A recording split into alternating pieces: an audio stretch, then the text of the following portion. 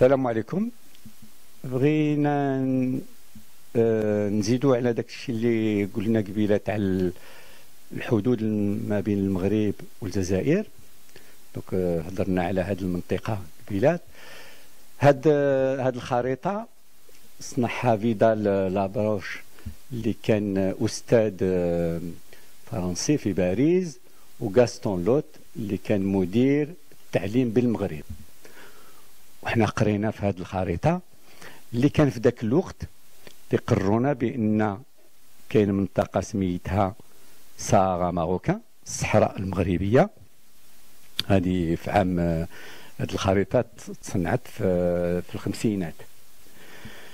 واللي كانت تعتبر هنايا الناس اللي عارفوا راه تقريبا كاين زاكورا هاد هاد المناطق وتزيد عليها تمشي حتى الصحراء ما يسمى بالصحراء الغربية.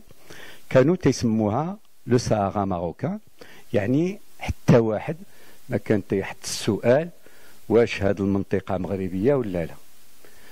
آه السؤال حطته الجزائر في عام 1975 لكن حتى لذاك الوقت كانوا هاد الناس إذا مشيت تسولهم إذا مشيت عندهم تيخرجوا لك العلم المغربي. تيخرجوا لك العلم الاحمر وتيعتبروا آه، راسهم مغاربه آه، آه، لأن كان كانوا تيخلصوا الضرائب للحكومة المغربية كان كاين الشيخ كاين مقدم كاين اذا كانوا يعرفوا المخزن المغربي.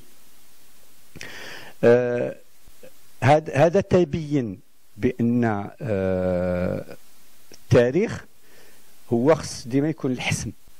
يعني ملي يكون عندنا شي مشكل نرجعوا للتاريخ نشوفوا هو التاريخ ديال هذه المنطقة. وهذا تيبين بأن كاع الناس في ذاك الوقت الخمسينات كانوا يعتبروا بأن الصحراء مغربية وما حط حتى إشكال حتى الواحد.